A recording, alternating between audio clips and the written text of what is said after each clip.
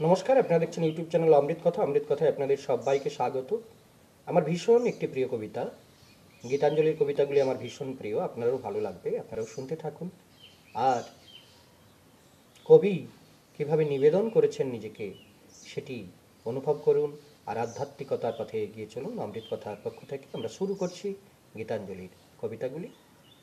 কবি লিখছেন, জীবনে যত পূজা হলো না সারা জানি হে জানি, তাও হয়নি হারা যে ফুল না ফুটিতে, ঝরেছে ধরণীতে, যে নদী মরুপথে হারালো ধারা, জানি হে জানি, তাও হয়নি মিছে।